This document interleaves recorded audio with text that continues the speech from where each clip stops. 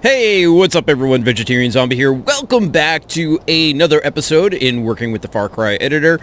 And here we are. We are now in a blank screen. And in this episode, what we're going to be doing is talking about animation. We're going to be going through all the animation options and so forth. So we're going to have lots of fun. Now, if you like this video, certainly press that like button. I'd certainly appreciate that. And if you're new to the channel and you like this kind of content, feel free to subscribe as well. I'd appreciate that as well. So let's just dive in, guys. Okay, so here we are. We are in the blank editor here let's get going. Now, I'm using an assault mode map, so we're just going to maybe put a couple guys on here. But before we do that, let's add an object. So I'm going to click the object button, and this is the 5 key.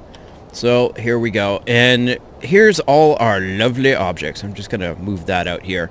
Now, someone was asking about the types of objects, and you can see here, we got like a ton of them.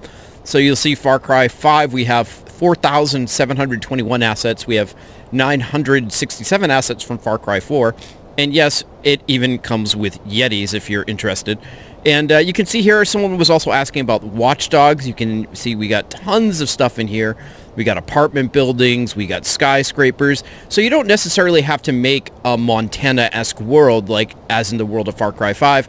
You can make whatever you want. And what Ubisoft has said is they're planning for this to be a service. So we're going to be seeing more and more assets being released. Now, how they're released, whether it's going to be like free to, like sort of uh, paid DLC, we'll see. We know that there's three DLCs coming, but they may come out with, say, asset packs or something. All right, so what we want to do is create a building. So let's just go into our Far, Far Cry 5 here. We're going to go into structures. Let's um, hmm, let's see what we got. We got a governmental building here, a hospital. That seems kind of oh, we did that the other day. We're not going to do that. Let's um, all right. Okay, so we got a brewery here. So I'm going to uh, select this brewery. So I'm going to select this brewery here, and I'm going to drag it out here. And look at that. We got a hovering brewery. Now I'm going to select this again. You can see how it's it's up there. I'm just going to move this down, and uh, there you go. Can snap right there. We'll have it Ah, right there looks good. Okay. So here is our starting location. Now, of course, being that this is going to be a map that we're going to be working on, we need a spawn point. So let's open our objects again. Again, this is the 5 key here. We're going to look under game... No, it's actually game mode objects here, and here's our spawn point. So let's put this here. Now, I think this wasn't the spawn point. I must have grabbed something else. Let's delete this real quickly. I'm going to select my objects again. And here we go. Now, as far as like the objective markers and so forth, I will be covering those in a different video. So we want to go to our rotation and let's move, have this guy selected here. And let's rotate him to face the brewery. Now let's create our first AI. So here is our AI. I believe this is the six key. And now we have two different types of AIs here. You can see we have civilians here. From, you can see we have um, our faction right here. So we have allies, neutrals, and animals. you know, I gotta make an all chicken map. I gotta see how that works. Exploding chickens, it's what's for dinner. So first, we let's add our enemy. We did this in the last video here. And you can see here we're having different types. We have security VIP chosen, heralds and angels. Let's choose an angel. All right, this guy is looking kind of... Love this guy. All right, so we got that going here. Here is our simple map. Let's fire it up. I'm going to go into explore mode. So pretty cool here. He's going to ignore us. Hey man, what's going on? and you can see I just placed him there. And what he's doing is he's just kind of walking around. He's looking more zombie-like than anything. And the thing is, I, I may not want him to walk over here. Uh, like, where are you going, man? All right, dude, have a good time. You may want to place enemies and have them be in specific areas. For instance, I may just want an enemy to patrol this room here. I don't want my enemy to to go out uh, way far away. So the way we can manage our enemies is through the use of control zones. So let's close this out here. Let's get back so let's open up our animation. Uh, I'm holding down 6, and you can see here we have a thing called control zones. So let's click on this. And basically what we do is we design our areas where we want our enemies to be. So I'm going to select NPC. And you can see here we have defend, defend, cautious, and move and defend. Now, I'm not exactly sure. I'm guessing defend will have them stand in the area. Defend cautious means they're kind of peeking around. Again, you're going to have to play around to see exactly what this do. The Ubisoft manual is, let's just say, a little bit sparse. All right, so we're going to move over here, and let's define a defend zone. So here you can see this cube here, and I want him to stay exactly within this. Actually, let's get this to match up to the size of this area here. So I'm going to scroll out here. And that way we can know exactly where this guy's going. So I'm going to select this. And now down in the object preferences, here I'll increase this, you can see we have these options. We have a shape. We can make this cylindrical. So if we want him to move in like an arena style, or we can do a box. And again, we can play around with the size parameters here. And we'll do that, and we'll move this slightly over here. Now, if you find yourself really enjoying working in this 3D environment, I highly suggest you look at Unity, because this is very much like working with the Unity engine, actually. It's very similar, it's super easy, and incredibly fun. And you don't just have to make first-person shooters. But that's a different story. Okay, so we have this all set up. You can see here we have our control zone, but if we just run the game, you'll notice something right away. I love how you just like parachute into explore.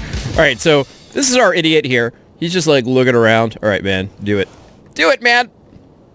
Okay, our buddy is walking. Now, that edge right there is the edge of the control zone, but notice he just keeps on walking by. He's like, whatever, man. I don't need control zones. You can't control me. Well, the reason is, is he doesn't know about the control zones. Let's get back to the arcade editor here, and let's zoom back out. Now let's select our AI here, and you can see that we have this in our object preferences here. We have a control zone, and right now it's set to default, and I'm guessing the default is probably either the size of this containing structure or the size of the map. Instead, we want to select Defend 5. So if we select our control zone again here, uh, what's really unfortunate is that we can't name these zones. So if you're going to be having lots of different zones, you're just going to have to remember this is defend 5 or just select on the control zone. Okay, let's try this again. Lord, great collapse. Now you'll see that this guy is just kind of hanging out here and just, he's not moving, he's standing still and he's muttering like an idiot. I wonder if that means our defend control zone just means he stands still. Now I was looking at, will you just shut up? man? Now I was looking at in in a Far Cry 4 map editor, I guess people were having difficulties making the AI stand still, and they're using sort of hacks, anim they're using animation points to keep the person still. So I wonder if this defend control zone basically takes care of that. All right, for some reason, this guy is deciding to stand still. Let's add just a few more AIs and to see exactly uh, if we can get get these guys moving around. Stretch the legs, man. Okay, now we got a whole bunch of idiots. Let's all assign them to the same control zone, and let's get some crowd motion going. And I'm going to set this guy to use the default control zone. So that way, if these guys start moving, hopefully you'll be able to see one person will be able to move outside of this zone, whereas the others will hopefully patrol around inside of it. Crap! okay, there they go. Next to the building! Woo, we got people walking around finally. Time's running out, son! Now you can see they're all huddled in this one area here. Where is this? This? Oh, where are you going? we are and and this idiot is still standing still. You're too close! Spread out! Hey man, don't blame me. I'm trying to do a demo here. This guy, look, I, where'd you come from? So it's really cool the flexibility that the ways that you can control the AI here. Here I go! I love her.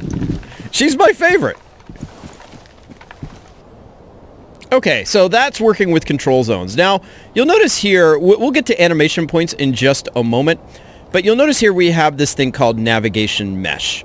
And a navigation mesh determines where an AI can actually walk. So I'm going to click this button, display navigation mesh here. And right away, you can, if you come in here, you'll see like these black lines and there's actually a transparency here. Let's make this really, let's remove the transparency. This makes it really clear wh what the net navigation mesh is. This is, means, as I said, this is where the AI can walk. Where there's a black border around here, this means the AI cannot walk they'll basically ignore these things or they won't walk through them. And this is really important when you're designing your structures or designing your buildings because you want to know where the AI can actually access it. Let's uh, let's add a structure or let's add an object here.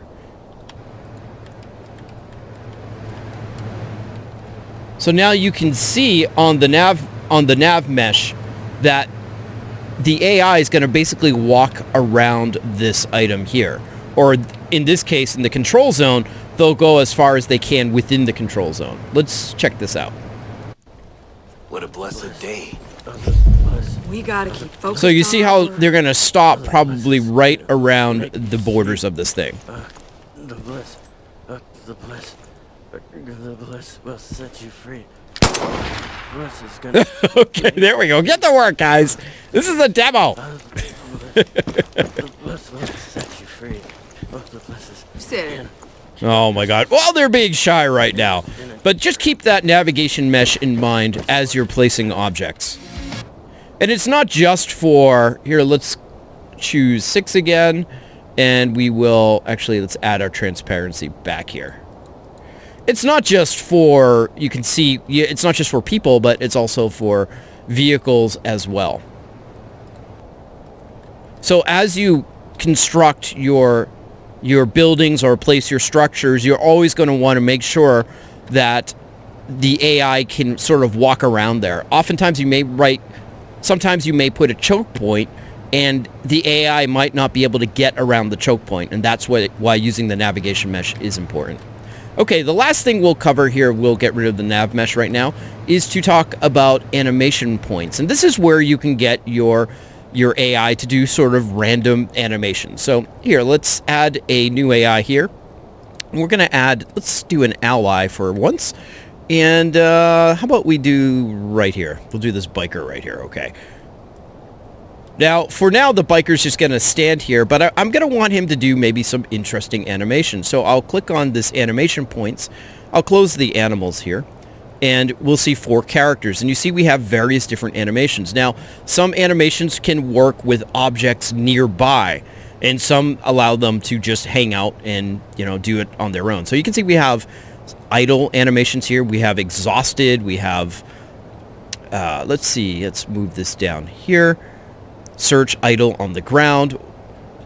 You can really just play around with all these, these various things. So here we have a lean on wall animation. I'm going to click this and I'm going to put it right over here. And I picked this from the shared, so this is shared between, I believe, the enemy and the ally. So I'm going to select this guy here. I'm going to move him over here, and let's get him close to the idle animation.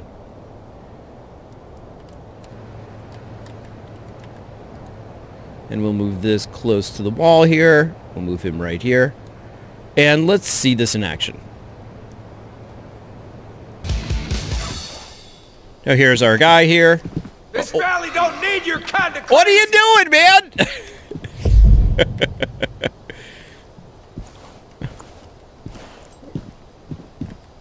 well, he he obviously You're supposed to be standing idly on the wall. We've got him now! Follow me! Go, go, go! God, you can never put these two together.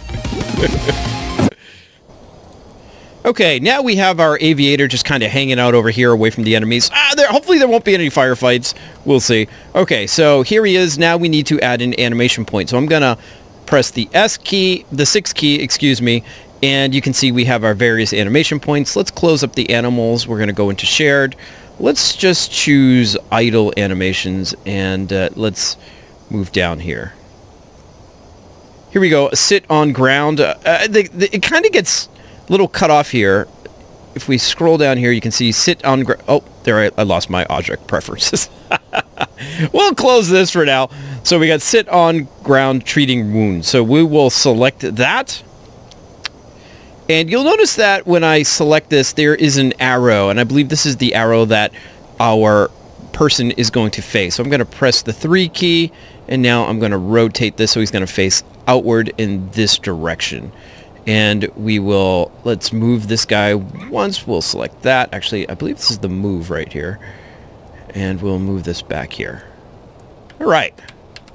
Now let's see our new animation point. And let's get it a little bit away from the wall, actually, so he doesn't clip through it. All right, here comes our fella. He's going to sit down. Oh my god, I'm hurt. Uh, there he goes. Nice job, man. Well, what are you doing? what are you doing? That's not how you do medicine. This is how they teach you in the Rambo school. Sorry, man. Just easing your easing your pain. Now, someone in the last video had asked a question uh, about basically toning down the uh, the editor. They were saying that they were getting a low FPS. You can see down here I'm getting 100 plus FPS. If you're having some issues with the FPS, you can you can basically turn off settings. Now in this case, I'm not showing it. It should generally appear here. If you're not seeing it down here, you can just go up here and just press view and you'll see arcade editor settings and you just click that and it will show here and you can see you can customize various things. Now, if your if your dialogue does that, just make sure just to switch back and forth. I'm sure that will get fixed, but it's basically, um, it's a little bit, uh, it's a little bit irritating. So we can do that. And you can see we have engine quality. You can just play around with that. You can turn off the, the viewport quality and so forth. So that's something to keep in mind if you are having performance issues. A few other tips you can see in the last video I told you about moving. You can see this is moving fine, but let's say I wanted to get all the way to the other end of that map. This is going to take me forever. You can change the speed right here. You can see I can move it to 80 and now we are cooking with gas. Look at that. Okay, one last thing. Someone had mentioned that they were running into issues, and let's add a new object here, and let's say we'll add our 50 cal. We'll put it right here. Now let's say for for things you were moving things around, and for some reason the 50 cal got moved under the ground here. Now let's validate this map here. And you'll see you'll get an object here, object area not clear. It might be clipping through another object. So what this means is that our our gun is inside of another object. Now, if right now it's pretty obvious where that gun is, but in the case when you're working with hundreds of objects and stuff, that's not going to be easy to find. But you can click on this error message here and it will take you to it. So if let's go onto the other side just to demonstrate this. Now we're over here. Let's go back to our map validation. And we can click on there. And you'll see it takes us to the general area of where that problem is. In this case, we can just go underneath here, bring it, raise that gun up. And now we can validate one more time. And there you go. That error goes away. So keep that in mind when working with objects and placing objects. Alright guys, that's going to be the end of this video. If you're liking these tutorial videos on Far Cry 5's map editor, just let me know. Feel free to hit that like button. That would certainly uh, help. If you have any questions or comments about using the map editor, feel free to leave them in the comments and I will do the best to help you out and answer them in a timely fashion. In the next video, we'll keep on playing around with these things. There are different game modes we can we can work on. For instance, creating an outpost game mode as well. There's also deathmatch, there's team deathmatch and so forth, and we'll dive into all these things in these videos. Alright everyone, thanks so much for watching. Hope you enjoyed it, and I will see you in the next video. See you then.